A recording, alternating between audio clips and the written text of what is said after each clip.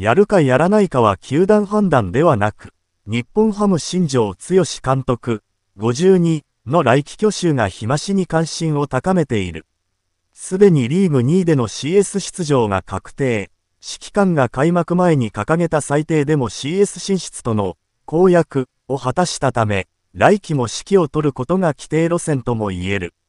球団側も続投を要請したい考えだが、そう単純でもないようで、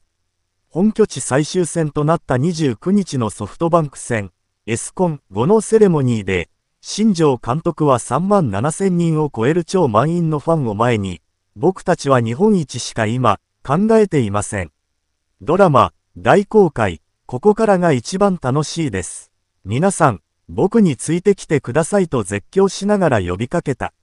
新庄政権は昨季まで2年連続で再開。そこから選手を育て上げ、3年目にして見事に花を咲かせた。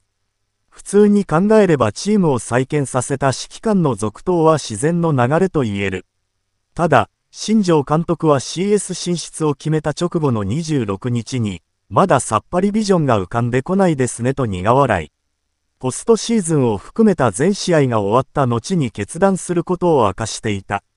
この発言により一部では、すでに目標だった CS 進出を決めたのだから今後どんな結果でも優待するのではとの、電撃優待説も囁かれているが、現状では新庄監督本人も含めて全くの白紙だという。球団人事に携わる関係者の一人が実情をこう話す。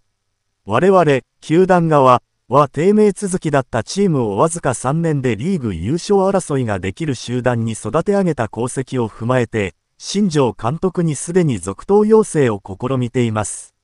でも、新庄監督本人が熟考しているのです。